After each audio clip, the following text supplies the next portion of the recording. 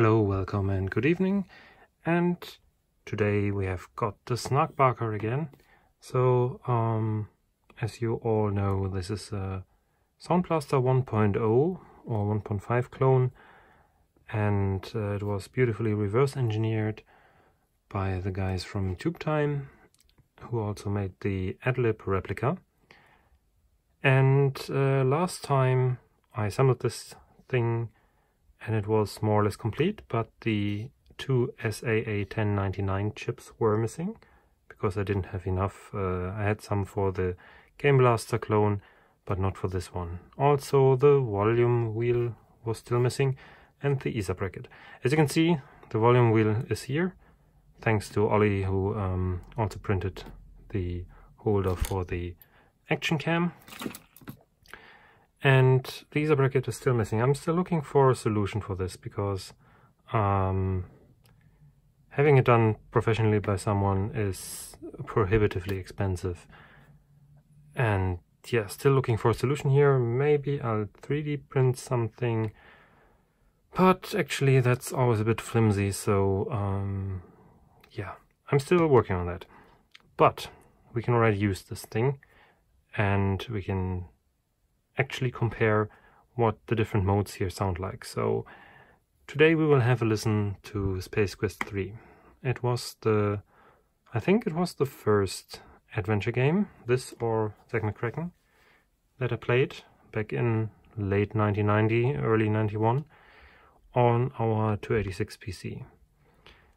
But of course we only had PC speaker, so we'll have a listen in a minute to Space Quest 3 the introduction on the PC speaker. So what did I hear the first time I ran that program as a 11 or 12 year old kid? I was still amazed by the graphics and all the stuff, but the sound is crappy on the PC speaker. There are games like Planet X3 which have quite nice uh, PC speaker sound, or Zak McKracken, for example, has pretty nice intro tune uh, for the fact that the PC speaker is just a beeper. Maniac Mansion the same, but Space Quest 3 is really weak on that part. Uh, then we will also compare to the Tandy sound card, so all the American guys out there, you probably had some, some Tandy machines and that had much better synthesizer. I also have a video about assembling a Tandy sound card. That's what I recorded that on. So we can compare that sounds already much better. And then we will have a listen in turn um, using the Yamaha YM3812, which is the OPL2 synthesizer here, in combination with the um, 3014 DAC.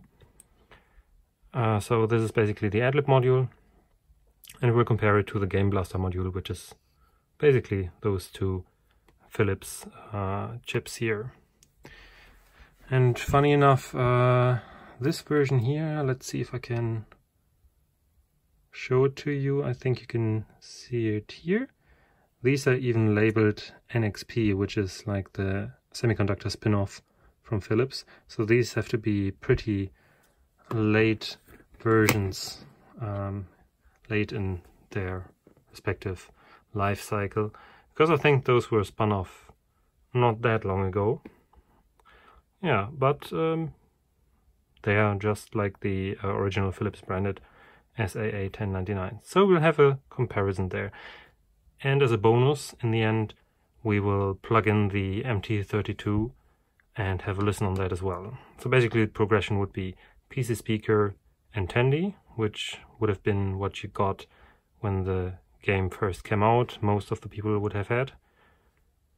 Uh, also Adlib and Game Blaster, which was also um, possible. I think Space Quest 3 came out late 1988, maybe early 1989.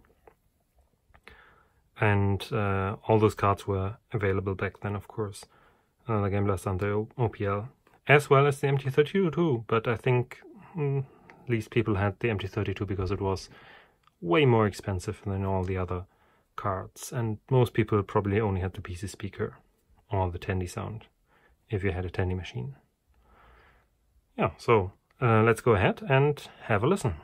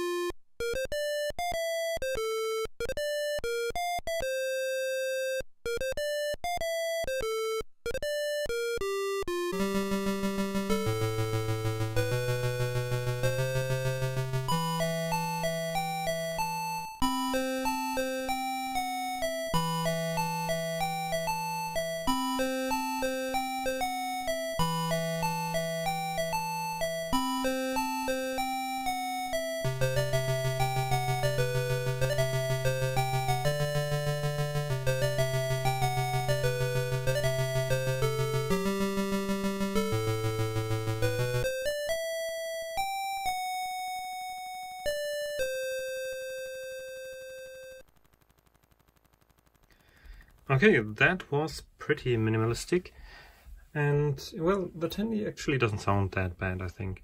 But the PC speaker rendition is uh, simple and quite a bit annoying. Uh, so usually when I was a kid I would just turn off the sound because it was really annoying.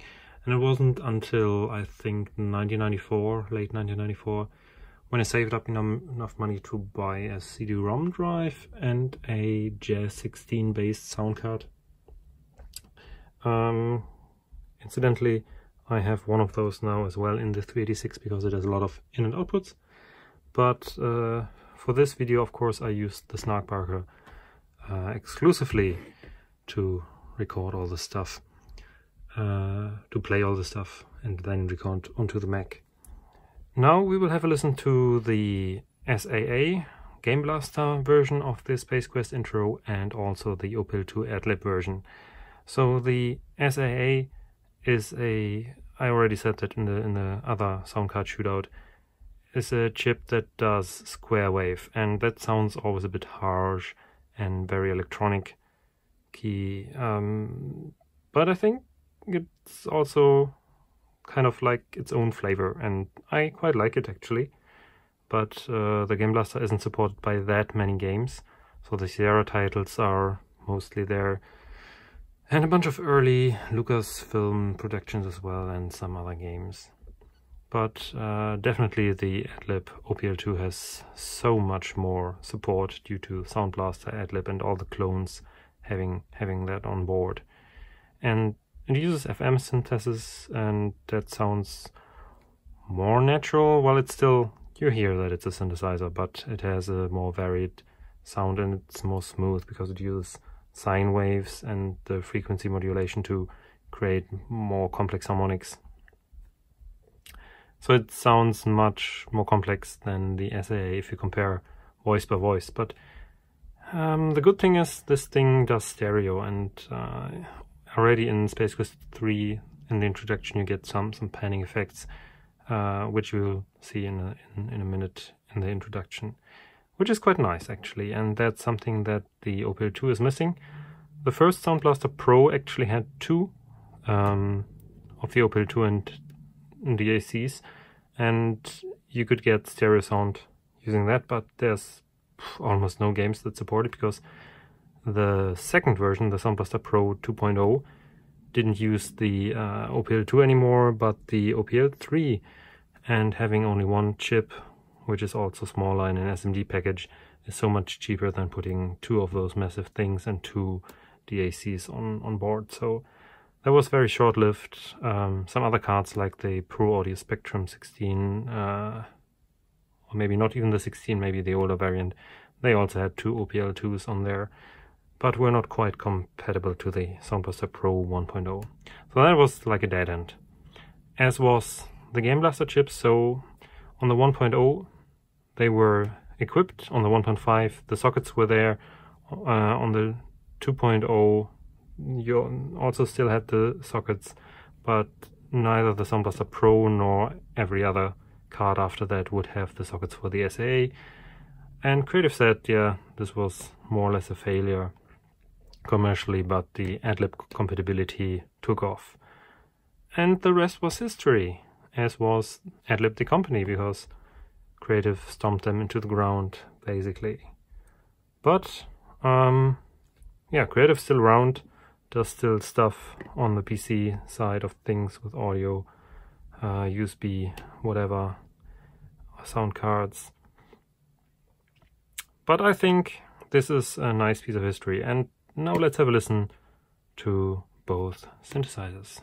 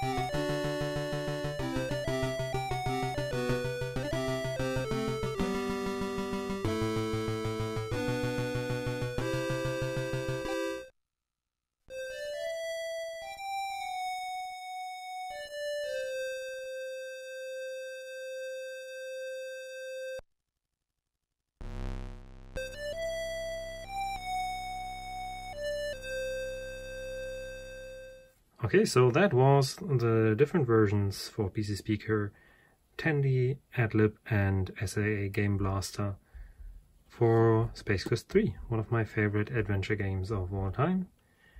And I think this showed quite nicely what an upgrade the Sound Blaster card was at the time. Um, it was so much better. And especially games like Space Quest didn't even, I mean, back then the Sound Blaster wasn't out yet, but they didn't even use the functionality like the DSP chip for speech. That was possible only one or two years later. So this is a really versatile card. You have a game port and MIDI port, you have microphone input, you have two different synthesizer chips, you have the sampling um, speech and whatever sound effect capabilities. It's it was really a game changer, so it was no wonder that it was uh, a big hit and there were a lot of companies cloning the cards, uh, building their own versions. Yeah, so this makes the Snarkbarker almost complete.